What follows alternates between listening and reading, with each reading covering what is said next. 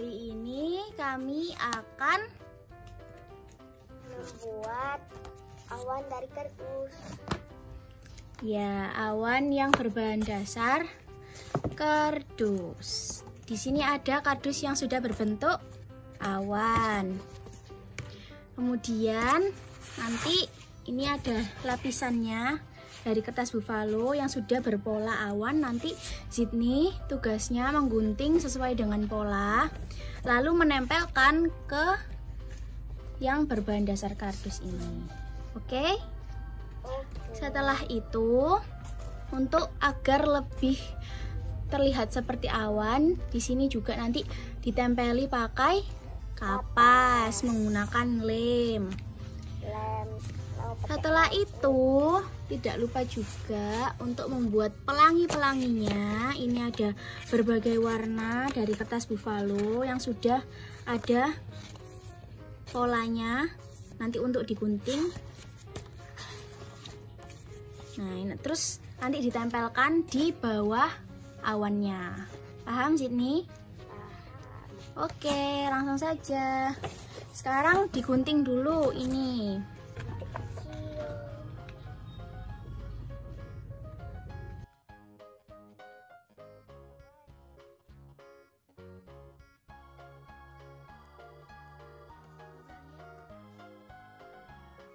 Bagus. Kemudian ditempel di bagian yang ada tulisannya aja biar ketutupan tulisannya. Pakai lem.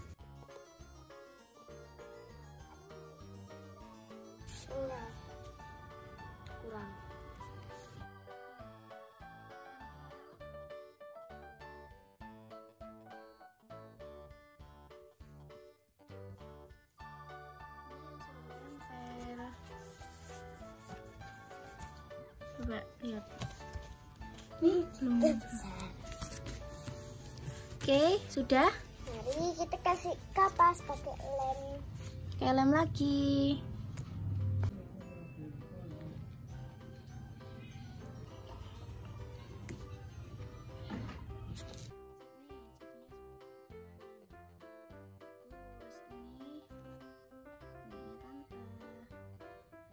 Sekarang selanjutnya untuk bikin pelangi-pelanginya nanti pelanginya ditempel di sini, sini, sini.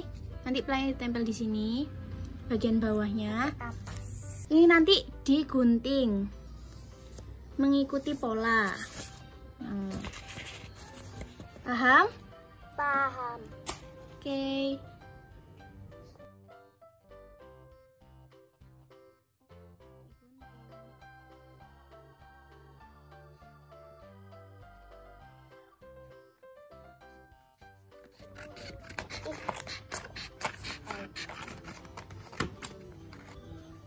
Warna merah. So, sudah diguntingin. Tante lupa. Nih, warna-warna untuk pelanginya.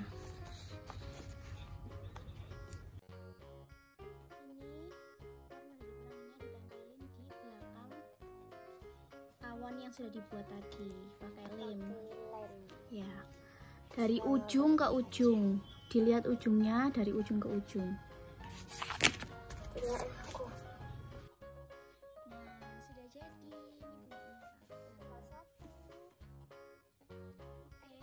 Nah, jadi hiasan dinding.